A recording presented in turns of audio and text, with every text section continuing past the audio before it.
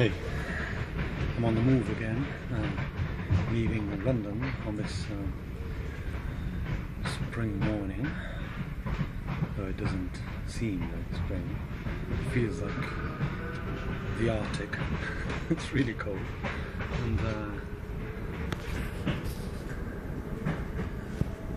I'm off to Victoria Station.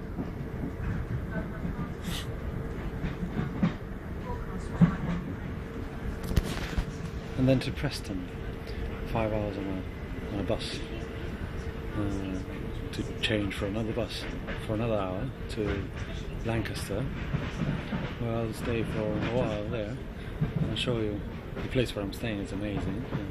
It's uh, the countryside, so uh, get a chance to practice my yoga and martial arts and uh, work towards the projects. So, and see you soon, mates. And uh, it's Easter, so happy Easter. Happy bunnies. And chocolate. Eggs. Yes, chocolate. Chocolate. Chocolate. Chocolate. Chocolate. I want some chocolate.